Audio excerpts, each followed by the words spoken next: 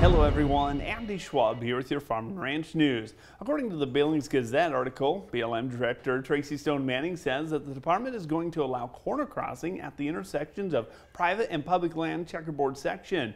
The article from Brett French says that Director Stone Manning plans to take a recent federal judge's ruling quite seriously and will make sure that the state directors are implementing the allowance of the action, which many do deem as trespassing. The announcement from Stone Manning while visiting her home state of Montana comes despite a notice of uh, appeal being filed at the federal level and the Montana Fish, Wildlife and Park saying that it's unlawful to corner cross in Montana. Now, another article also highlighted the BLM director touting her decision to allow bison grazing in Phillips County while also claiming rhetoric surrounding the controversial issue is a view held by the minority.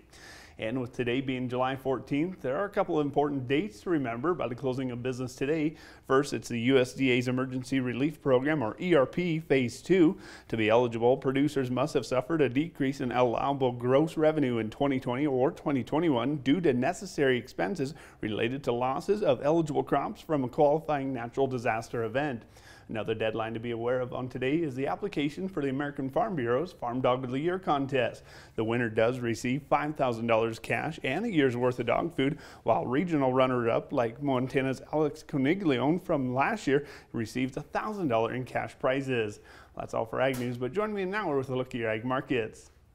We asked Montana farmer Walt Sales about the challenges of mental health in agriculture another drought. There always is. There's always going to be another something. I grew up in a generation of you pulled yourself up by your bootstraps.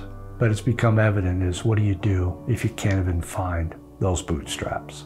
If you need to talk to somebody, go to beyondtheweather.com for free counseling for Montana ag producers.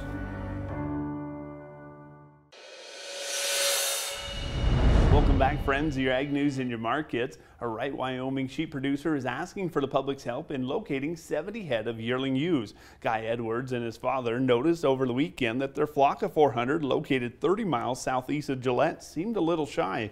After scavenging the area and checking the fences, they knew something was not right. That led to a double check of their record book, which confirmed the in, their intuition. And upon further investigation of their 2,200 acre pasture, they discovered an area of trampled grass along the fence line and tire marks leading away. If anyone has any leads to the disappearance, they're asked to call the Campbell County Sheriff's Office or Wyoming Livestock Board's law enforcement. And despite losses on the futures board for cattle yesterday, weekly negotiated cash cattle markets started their bids steady to a dollar stronger yesterday. Cleanup trade will likely be happening today with packers needing to keep those orders full for this grilling season.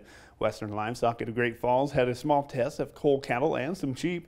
Most of the cull cows remained over that dollar per pound mark, while the light test of the bulls stayed steady at the 120 to 130 money.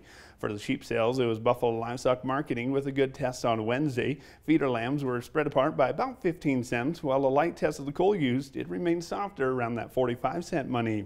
And wheat trade did not climb with the row crops following the tra uh, first trading session after the latest WASDE report. Looking ahead, drought and weather concerns will likely be the drivers uh, in the driver's seat, that is, throughout the rest of the summer. That's all for Ag Markets and News. I'm Andy Schwab. Have a good day.